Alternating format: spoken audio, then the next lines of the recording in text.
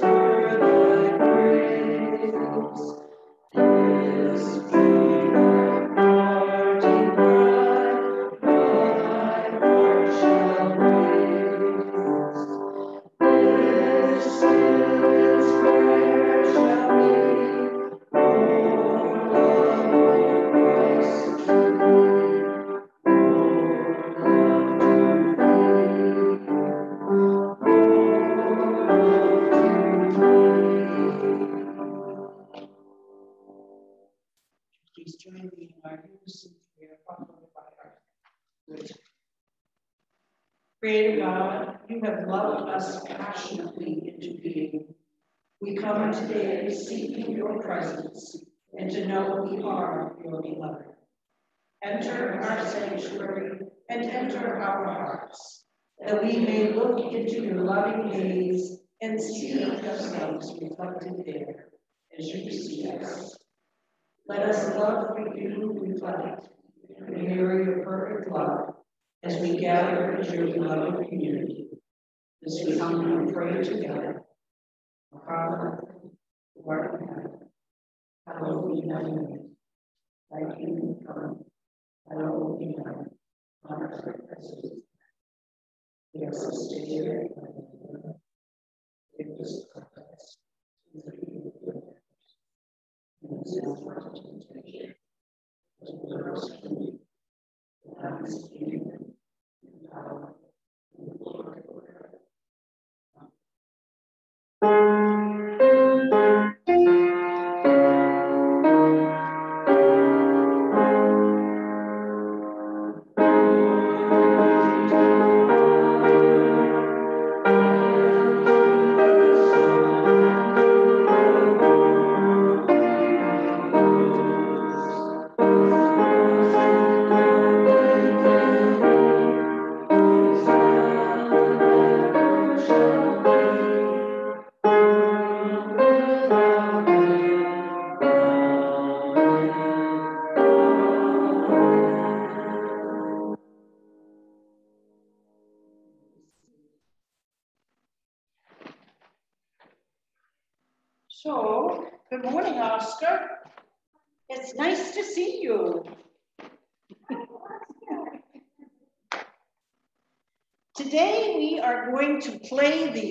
if game.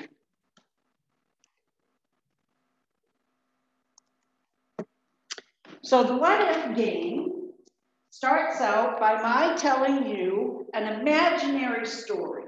It's not true, it's just something I made up but I want to know in this what if game, how this makes you feel, okay? So here's the first what if. What if you're playing on the school playground and you fall and you scrape your knee?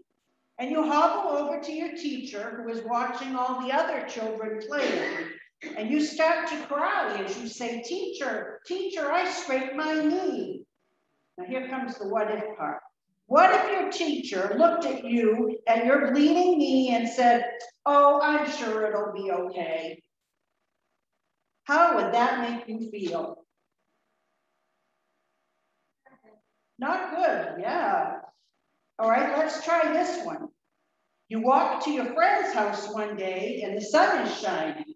It's a beautiful morning as you go to play and you're there all day long playing. When it comes time to walk home, though, the sky's opened up and it's pouring rain, and you don't have any rain boots, or any umbrella, or raincoat. Your friend is standing in the doorway looking out at the rain pouring down, and she says to you, I had a great time today. I hope you get home all right.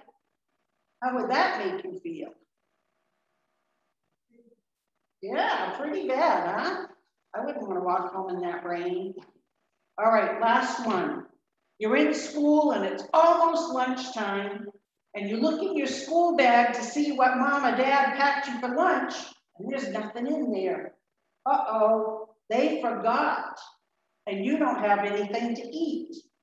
So you tell your friend who walks with you to the lunchroom, and your friend sits down and he opens his lunch bag and he says, boy, I'll bet you'll be glad to get home so you can eat. How would that make you feel? Yeah, yeah. See, each of these stories, you could have used a little bit of help. Like maybe when you scraped your knee, the teacher could have knelt down and looked at your knee and offered a few words of comfort and promised to have the nurse clean it up when we got back inside. When it started to rain and you had to walk home, Perhaps your friend could have offered you at least some kind of rain gear, or maybe suggested that you call your parents and see if they could pick you up when you didn't have a lunch. Maybe your friend could have shared half his sandwich with you just so that you'd have a little something to eat, or gone and told the teachers that you had nothing so they could find something for you.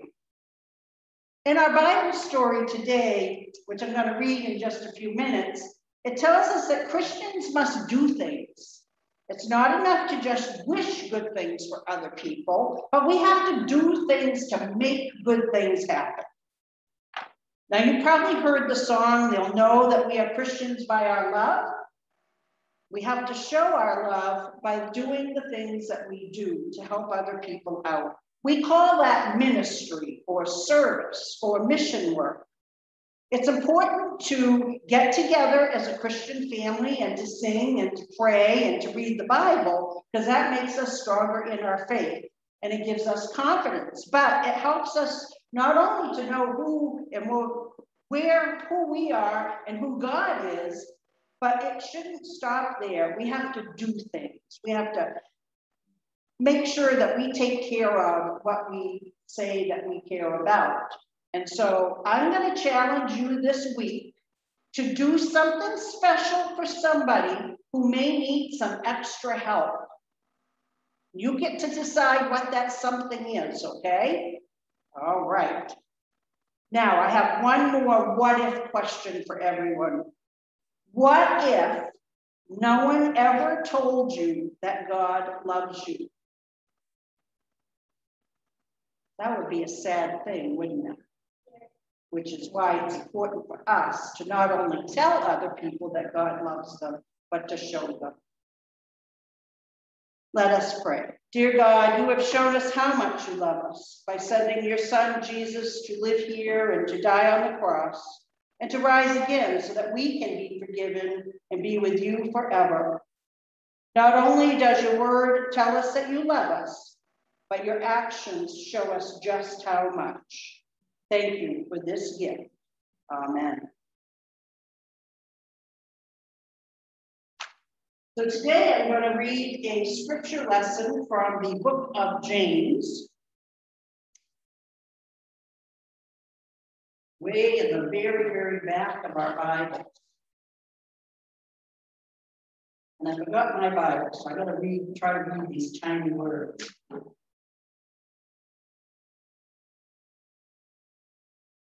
Do not be deceived, my beloved.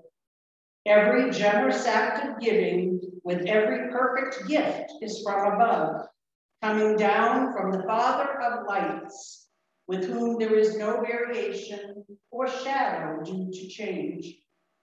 In fulfillment of his own purpose, he gave us birth by the word of truth, so that we would become a kind of first fruits of his creatures.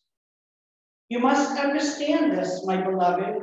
Let everyone be quick to listen and slow to speak, slow to anger, for your anger does not produce God's righteousness.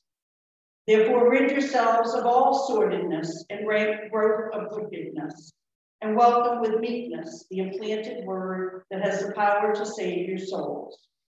But be doers of the word, and not merely hearers who deceive themselves. For if any are hearers of the word and not doers, they are like those who look at themselves in a mirror, for they look at them themselves and on going away immediately forget what they were like. But those who look into the perfect law, the law of liberty and persevere, being not hearers who forget, but doers who act, they will be blessed in their doing. The Lord add a blessing to the readings this morning. Would you please join me in our time of confession and assurance of heart?